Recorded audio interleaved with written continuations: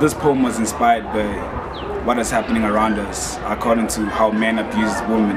And I just wanted I wrote a piece that really inspired me and hopefully hopefully it inspire you as well to look up to our women and at least give them a hand you know?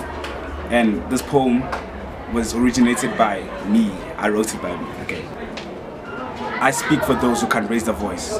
Women that feel overpowered by cowards and suffer the great pain of being accused who suffered the great pain of being abused but Nelson Mandela once said amandla awethu which means the power is ours we gotta use it for the good and not for the worse I've reached a level of dedication that surpasses meditation without any prescribed medication. All I needed was education in order to acquire the information to bring us together as a nation in this particular generation. But the world is still enforcing segregation. Are we going to have to pay reparations for the damage done in our country caused by the threat of immigration? Thank you.